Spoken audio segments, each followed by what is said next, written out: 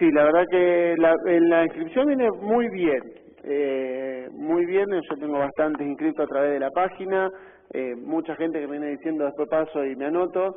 Eh, tenemos para los primeros 200 inscritos remera, eh, que la está confeccionando eh, Mauri.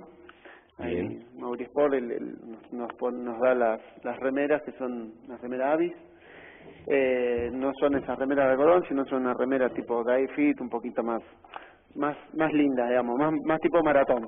Eh, ¿Las remeras las reciben los 200 primeros inscritos? Las remeras los 200 primeros inscritos. ¿Sean para el maratón de 10 kilómetros o para el de 4, que es integrativo? La de 4, que es integrativa, es eh, esos van a tener eh, medalla, lo que se llama la medalla finish, Sí. eh, por haber cumplido el recorrido, se le da una medallita, una medalla también.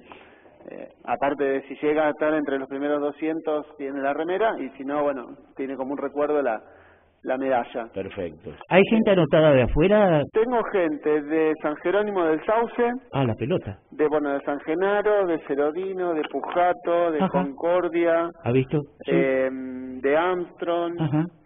eh, sí.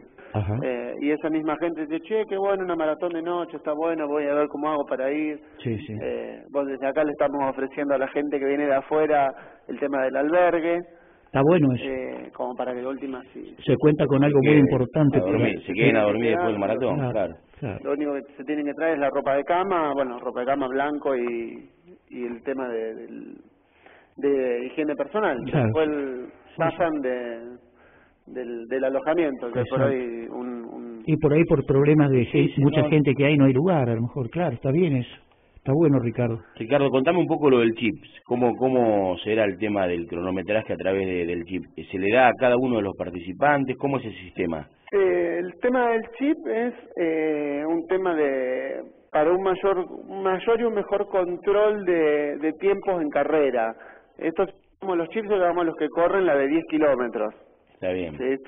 Eh, el tema del chip es lo que tiene bueno es si vos tenés una gran, un gran número de corredores eh, y vos sos un corredor más o menos que anda bien y llegaste un poquito tarde y te quedaste sobre el final de la, de la fila de largada, eh, tu tiempo empieza a correr a partir de cuando vos cruzaste Ah, el arco. Qué bueno que está Ricardo eso. Eh, entonces no importa si largaste tres o cuatro minutos más tarde o 20 segundos más tarde que los que largaron de adelante. El recorrido va a ser, lo van a cambiar con respecto a las últimas que hubo en Totoras, El va a andar por el centro. El recorrido, la idea es, bueno, como se hace de noche, eh, como la idea es que venga gente de afuera, eh, para que la gente de Totoras misma se entere, eh, se interiorice y le empiece a, a tomar el gustito al tema de, de la movida de la maratón, es meter la, la carrera en el centro y no llevar la gente del centro afuera. Exacto. Eh, el recorrido va a ser el, el salimos del albergue, acceso, ida y vuelta, Boulevard Garay hasta Balcarce,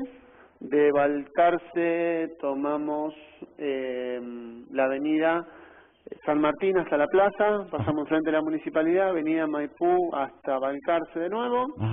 Boulevard Belgrano hasta la estación de servicio, ahí tomamos la avenida San Martín, pero para al lado de la estación de tren. Claro. Ah, para, para- Calle Falucho, acceso Belgrano, Avenida San Martín, calle San Lorenzo, Avenida Maipú, hasta lo que era la ex Cotar, hasta Claro. lo que es el Boulevard Colón, eh, hasta de Colón hasta calle Saavedra y volvemos al, al albergue.